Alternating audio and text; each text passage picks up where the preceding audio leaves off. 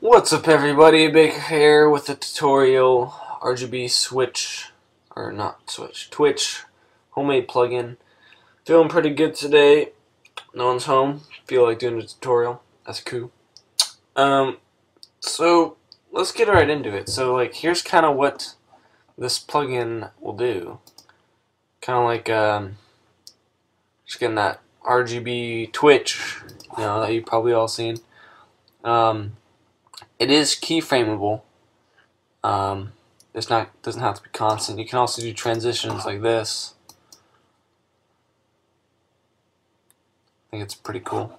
So this is basically like a substitute for the video copilot Twitch. If you uh, don't have that or just don't feel like you know illegally downloading it or anything, uh, kind of messed around and kind of made it for you guys. And uh, someone was skeptical, skeptical that I didn't really make a plugin. Well, you know, uh, let's take a look. You know, I got all all this code I made.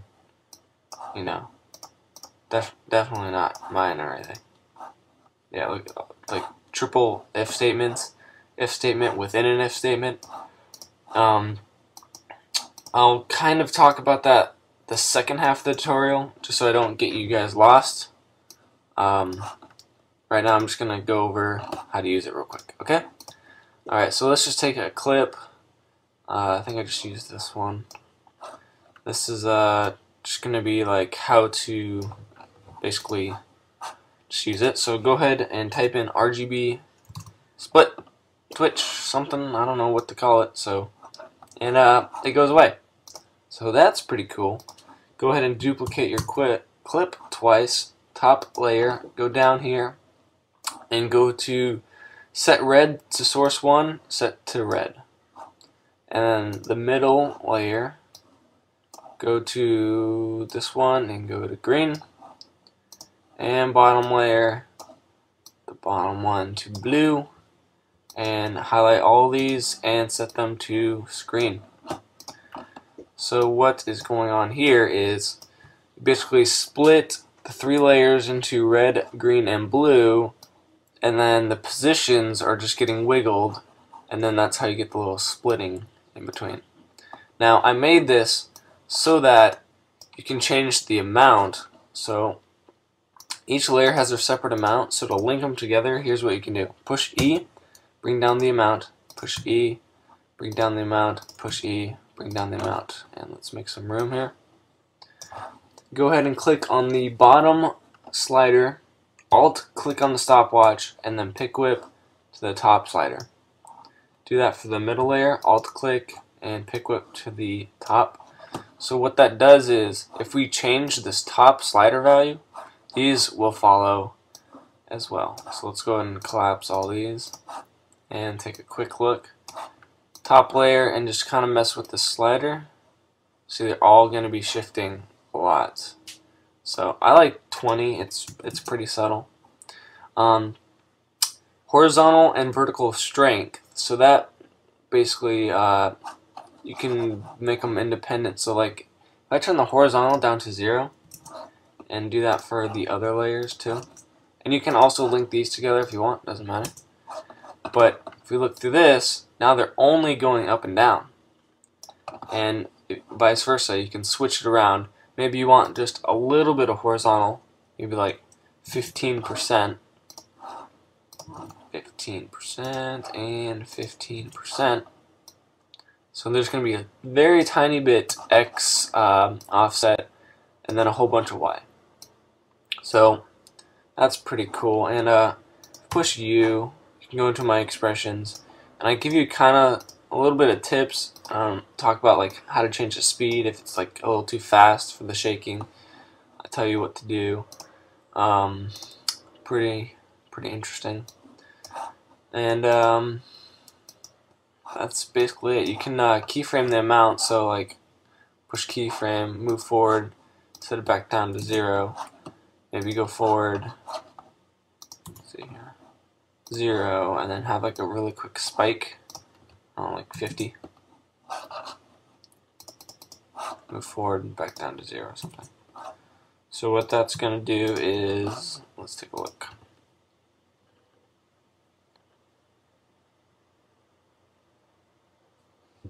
So it's shaking, it turns off, and then there's a quick jump. So, yeah, to make this a little bit more like non-constant,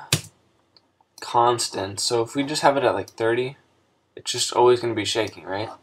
Well, we can alt click on that and type in wiggle parentheses 8 comma let's say 30 so what that does is it takes the current value which is 30 that's what we typed in and it's gonna kind of choose random numbers within 30 you know points or whatever so it's gonna go from 60 to 0 randomly uh, every eighth of a second and what that looks like is kind of like this.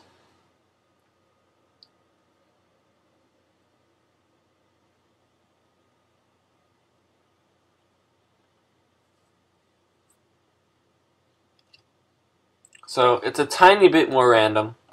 Um, it's alright. So the only downside about this plugin is you can't use it on an adjustment layer. And um, so for the transition, it's a little bit different. So what you do is you have a composition with two clips, right? And let's say this one's cut to here and this one's cut to here. And so we got this jump in between, right? So what we got to do is we need to pre-compose this. So layer, pre-compose. Now if you're in a, if you're in a um, montage and you have a whole bunch of clips, highlighting them all and pre-composing, it's kind of pooey, right? Yeah. So what you do is the other way, um, you find this comp in your project window, take this and drag it into the new comp button, and that pre-composes it for you. So let's go ahead and find that jump, or was it around here, so it's going to be right around here. Okay, so we're going to do the same thing. Drag on your Twitch, and duplicate it two times. Top layer set off to red, middle layer off to green and bottom layer whoa, don't double click on it bottom layer off to blue and um, yeah again we're gonna have to uh, link up the amounts. So let me do that really quick. So I'll click on the bottom pick whip to the top. I'll click on this one I'll uh, pick whip to the top. Okay. So, oh, set all these to screen as well. So go to the point right when it transitions. Ah, uh, come on, where is it? Come on, buddy. I passed it, right around there. Okay, close enough. We'll take the amount and set a keyframe. And then let's go back about 10 frames. So if we're at 820, we'll go to 810 and set a keyframe down to 0. And 820, 10 seconds, so 830, which would be 9 seconds. Set this down to 0. So, I preview this, see a little bit of a transition, except our amount is very weak. So, Let's go ahead and change that middle keyframe. Let's boost this up really high to like 500. And um, it's pretty sharp, so what we can actually do is go in here and turn on the motion blur for all three switches or layers and turn on the comp motion blur. Look at that. Because these layers are actually moving, so the motion blur for the layers will register. So let's take a look. Yeah. A little bit of crazy twitch going on. Look at that. It's so rainbow and colorful and stuff. And uh, yeah, you can make it like you can change the strength. So if you want the transition to only be up and down, like I had it before, just change horizontal to zero and keep vertical at 100. Alright, so that's pretty much it. um, let me kind of just go over like how this works if you're interested. If not, you can go ahead and close the video. Make sure to like it though, because I worked two to three hours on this to really make it work, because I had a lot of trouble with this. So kind of let's look in the inner workings here. So basically what I did is you make a whole bunch of sliders, pretty much anything that you need to like change. So I made an, uh, a mount slider.